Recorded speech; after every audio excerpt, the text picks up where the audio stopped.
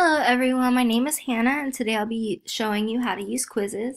So when you go to Quizizz, you can either just go ahead and start by using search quizzes or join a game, or if you already have an account, log in or sign up to make an account. If you have a Google account, it's really easy to make one. You basically just sign in to your Google account. So once you get in, you will see at the top there's a search bar. You can search for quizzes by any subject or topic, or you can click on one of these popular category buttons.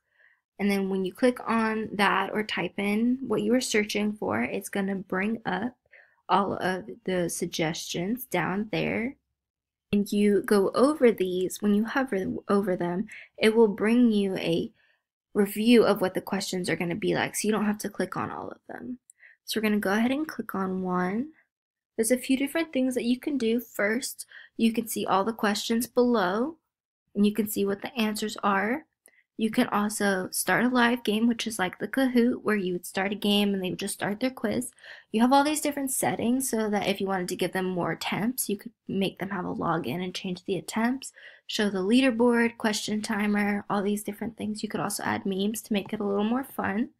You could do a homework game, which you have all the same settings, and then you would just go ahead and set a due date and a time and it would tell you the exact amount of time that students have to do it from your hosting. So they would just do it whenever they have free time. Or you could do a solo game, which is like testing it out before, or students could do it on their own if they have an account. You could share it through social media or through email. You could duplicate it too. Duplicating it is the coolest thing because when you do that, you can edit it when you edit, you can delete questions, you could edit them. When you edit them, you can change the answers, you can change the question, you could change whether it's one answer or if it's select all. You can also change the time for the question. You can add questions by creating your own or by searching from other people's quizzes.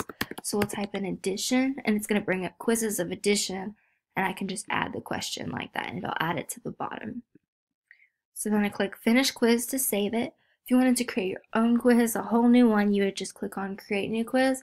You would do that the same way that you edited an existing quiz. And you could also align quizzes to state standards. So we're going to go ahead and start a live game to show you, for example. So, you know, I have my settings the way I want them. You can change them. You can also edit the title if you want it. Click host game.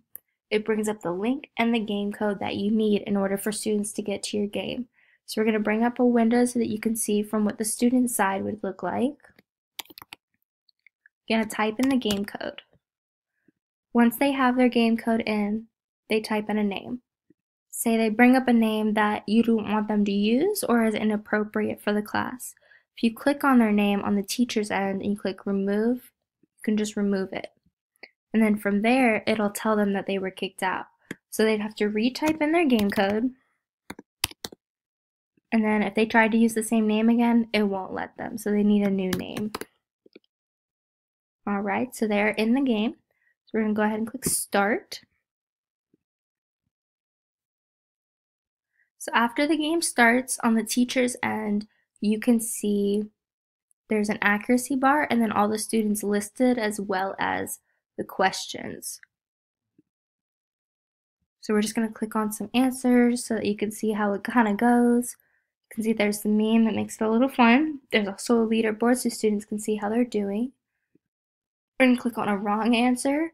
So on the teacher's end, on the leaderboard, you can see you know how many they got wrong, how many they got right. You can also see on the questions which ones are wrong and right. They're only not in order because the questions are shuffled. So say for example something happens and you have to end the game. You go ahead and you click end game. So this will not affect whether you get your statistics, you will get them, but keep in mind they might not be 100% accurate.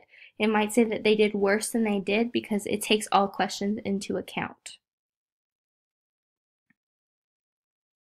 Alright, so at the top you have these few statistics, the highlights, which helps you to see the toughest question which is going to be helpful because you can see where students are struggling and what they really need help learning, like concept wise. You could also see where they struggle the longest to get the answer. You could see the class accuracy as a whole.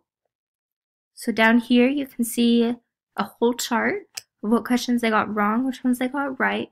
It will mark the ones that they did not do as wrong, so take that into account.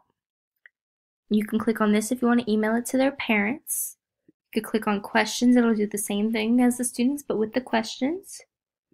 Click on standards. If there's state standards, they will be included here and how the goal was met for those. The really cool thing about Quizizz is that at the end, there's this download Excel button.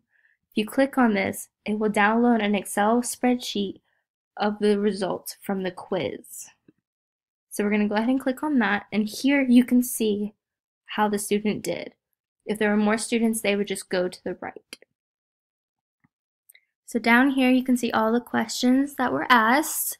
You can see which ones were correct in this column and incorrect in this, and how what they were unattempted. So most of them were unattempted because we ended it early. So you can see here, hers was green, that means it was right, and the red is wrong. And this, her percentage of accuracy, that's as a whole. So make sure you remember that. She actually more like got a 50% because you only did two questions. But that's pretty much it for Quizizz. It's a really good tool, you know, to do quick formative assessments. You get immediate feedback and you can save it for your record keeping. You can see where students need help, where they're really excelling, where they might need more practice concept wise. So it's really a good tool to go ahead and use maybe at the end of class before they go so you can see where you might need to do a recap at the beginning of next class. Well, thank you for watching. Have a great day.